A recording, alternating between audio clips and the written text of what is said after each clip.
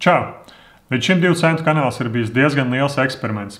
Kopā izveidot jau vairāk nekā 150 video par dažādām tēmām, sākot no golfa un makšķerēšanas, beidzot ar eh, IT tehnikas apskatiem un eh, ieguldīšanu un pat IT drošību un sportu.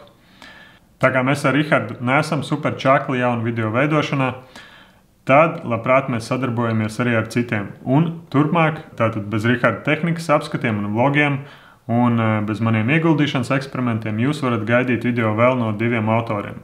Pirmkārt, Kirillis turpinās veidot video par IT drošību un privātumu, un īsnībā viņš jau tagad ir nofilmējis pāris jaunus video, kurus mēs publicēsim tiklīdz Rihards saņemsies un samontēs tos.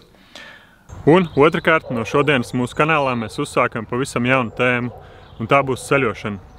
Par to turpmāk mums eh, vairāk pastāstīs Jānis Kunziņš. Viņš ir diezgan daudz braukājis apkārt pa pasauli, vairākus gadus ir strādājis turismu nozarē un šobrīd dzīvo Kanāriju salās.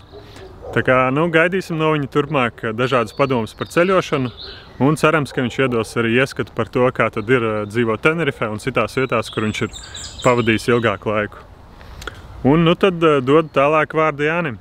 Paldies, Kristap! Un sveiciens no Tenerifes! Kad Kristaps ir izstāstījis, kā pavairot naudu, ir pienācis laiks to tērēt. Kā to darīt vislabāk? Protams, ceļojot. Turpmākajos video apskatīsim, ko piedāvā Latvijas tur kompānijas, kādas ir turisma tendences, kā ceļot izdevīgi, ar ko atšķiras turists no ceļotāja, kā arī lauzīsim dažādus stereotipus. Un sāksim ar pirmo. Ko domā latvieši par latviešiem ārzemēs? Ko domāju es, ko es daru ārzemēs? Kā ir patiesībā?